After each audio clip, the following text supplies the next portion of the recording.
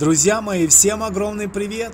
Сегодня вашему вниманию предоставляю обзор на великую и могущественную, я даже сказал бы так пафосную, историческую, монументальную Днепрогэс.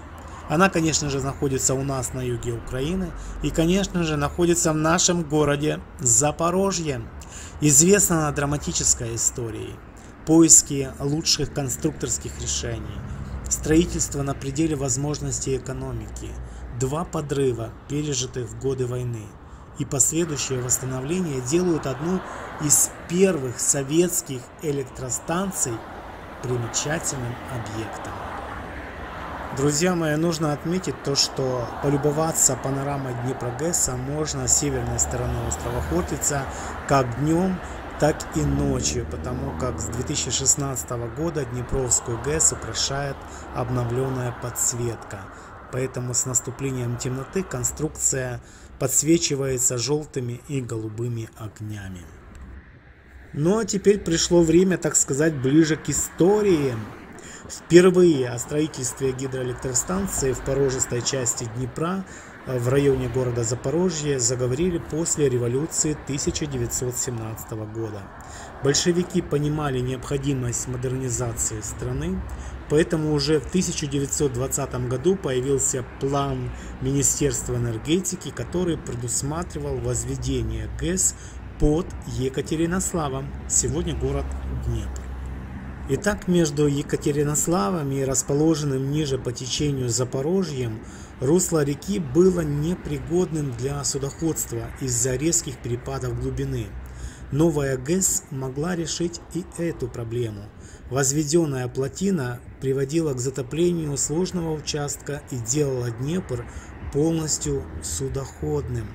А ближайшие города и села, вплоть до северной части Крыма, получали дешевую электроэнергию. Друзья мои, но и ближе к строительству. В 1921 году начались геодезические исследования. Возведение плотины планировали начать в 1923 году, а самой ГЭС в 1925. Но работы начались гораздо позже по ряду причин. Во-первых, Министерство энергетики предполагал одновременное строительство нескольких ГЭС, на что у аграрной страны, пережившей гражданскую войну, не было средств. Во-вторых, Днепрогэс была объектом Украинской республики, а не РСФСР, что подводило под проблему политического контекста. В-третьих, мешали разногласия между председателем комиссии по Днепрострою Троцким и генсеком партии Иосифом Виссарионовичем Сталиным.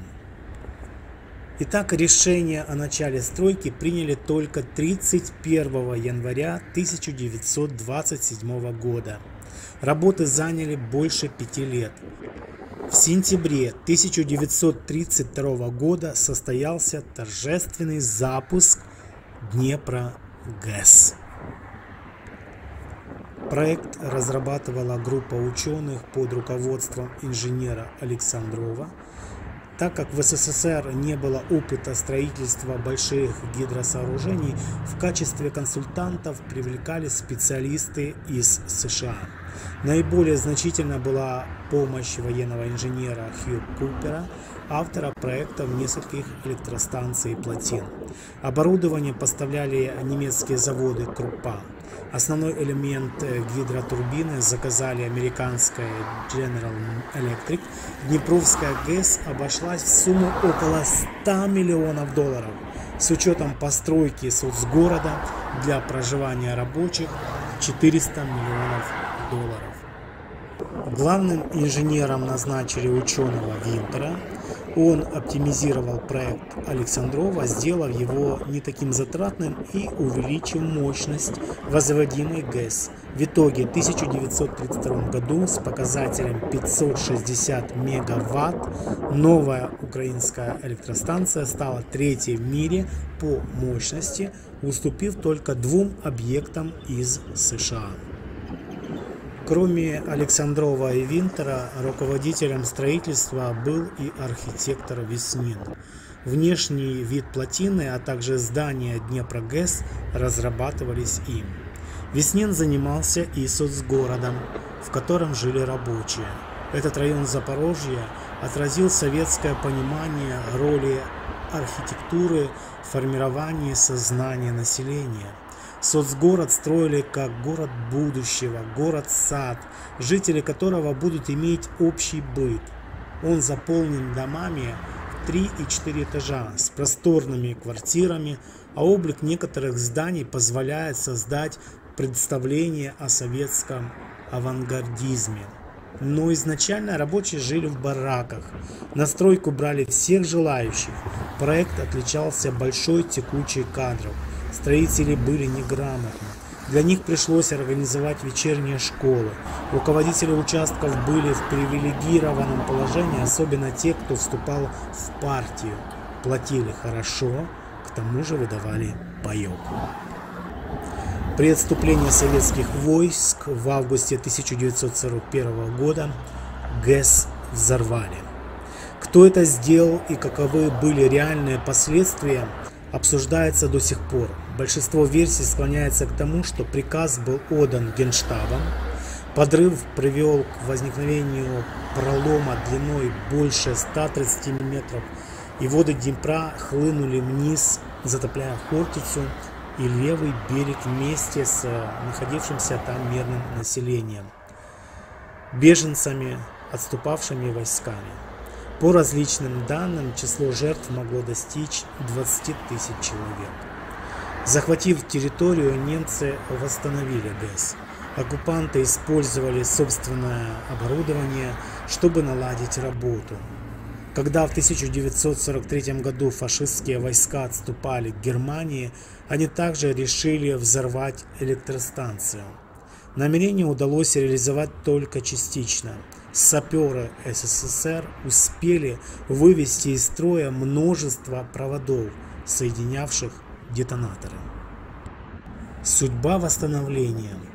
Для возобновления работы ГЭС потребовалась колоссальная работа саперов. Около 8 месяцев с января до августа 1944 года конструкцию освобождали от мин, бомб, снарядов. С 1947 года по 1950 год происходило постепенное включение гидроагрегатов. Новое оборудование, купленное у американской фирмы General Electric, было мощнее прежнего. В 60-х годах часть оборудования была модернизирована, но первая масштабная реконструкция состоялась только в нулевых, стартовав в 1997 году. Вот такая вот захватывающая история Запорожской Днепрогэс. Друзья мои, ну хочу напомнить то, что большой остров на Днепре Хортица, входящий в состав одноименного заповедника, находится всего лишь в километре от плотины. Северный берег представляет собой утес. В его окрестностях расположено место паломничества туристов, посещающих Запорожье, историко-культурный комплекс «Запорожская сечь». Здесь реконструированы кузница, гончарня, дом атамана и другие постройки – можно посетить театрализованное представление. Кстати, у меня есть видео на эту тему, поэтому ссылки будут в описании, переходите, смотрите. Друзья мои хорошие, ну и здесь же на острове Хортица в северной части поднимаемся на холм, и здесь пред нами, напоминаю, открывается красивейшая панорама на гидроэлектростанцию. Наслаждаемся. На правом берегу дорога с плотины выходит на площадь Винтера и пересекается с названным его же честь бульваром. Здесь стоит монументальное здание дирекции ГЭС и дворец культуры энергетиков.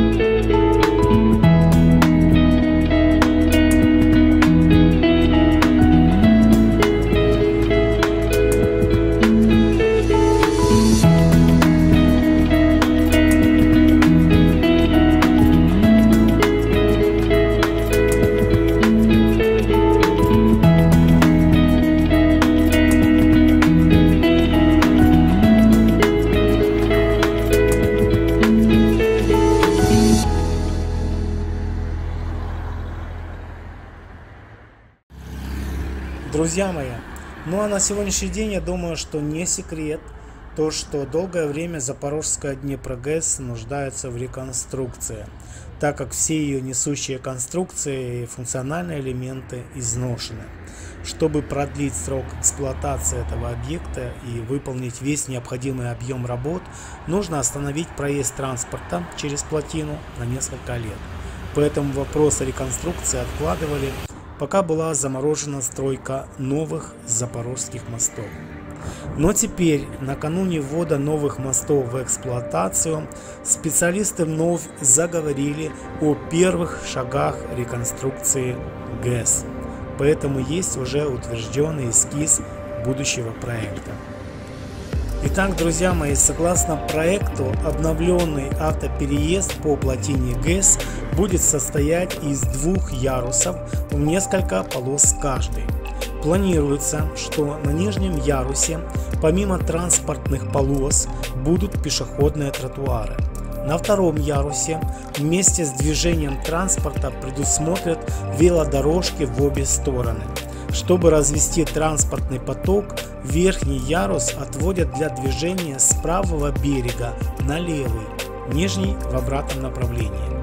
Теперь же после утверждения облика обновленной ГЭС специалисты сферы приступят к обсуждению технических характеристик. Параллельно с этим будут проходить проектные и согласительные работы. На этот процесс закладывают 2-2,5 года. Только после этого реконструкция сможет стартовать.